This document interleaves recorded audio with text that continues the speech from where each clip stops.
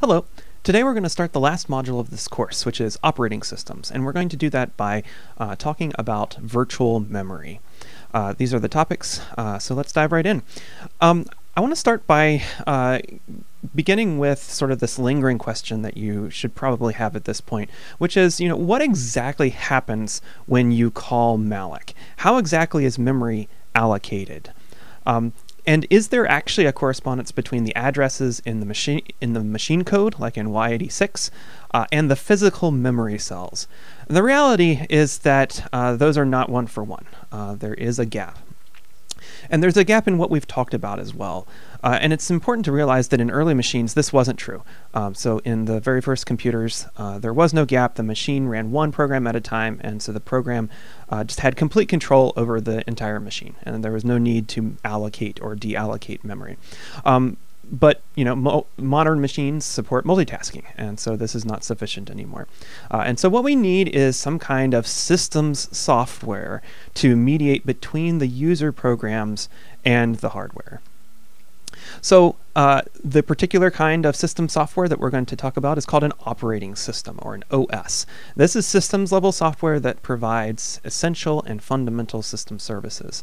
Uh, modern operating systems provide a wide range of services from uh, booting and shutdown to scheduling and virtual memory and networking and many other things. And we're not going to talk about all of these this semester, but we will talk about a couple of them. So the kernel of an operating system is really the core piece of the software that has complete control over the system. Uh, it has direct access to all the hardware, uh, and when when uh, the CPU is running in this mode, we say that it's running in kernel mode. Um, all of the other software uh, does not run in this mode. It generally runs in another mode called user mode.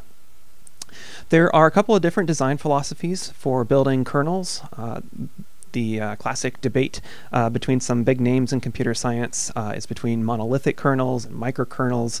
Um, the, the, specifics aren't terribly important for this class, um, but it is important to note that operating system kernels are often designed to be small but extensible, uh, and plugins are called drivers. And at this point, we can kind of address a, a little bit of a caveat that we've glossed over, which is that Linux uh, is specifically a, a, kernel of an operating system.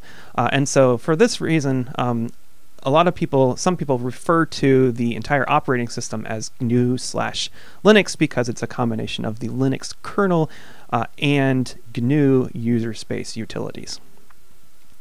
So the operating system provides a lot of useful abstractions uh, so that the programs don't have to handle the hardware details. Uh, we're going to talk a little bit about uh, this in this course, uh, but we definitely don't have time to cover everything. Uh, and so if you're interested, um, we have an upper level systems class, uh, CS450, that covers operating systems in much greater detail than uh, we'll be handling today or in this module. So we're going to focus on uh, three or four major abstractions that are uh, extremely useful. So the first is virtual memory. That's what we're talking about today. And that's a logical view of the memory hierarchy, the, the actual memory in the hardware. Uh, we're also going to talk about processes uh, next time. This is a logical view of a program running on a CPU. Uh, and we're also going to talk about files, which are a logical view of the data that's stored on disk. Uh, we may also talk about threads, which uh, are a logical flow of execution in a program, and is kind of a, a, sneak peek at the sorts of things that you'll tackle in the next systems course, uh, CS uh, 361.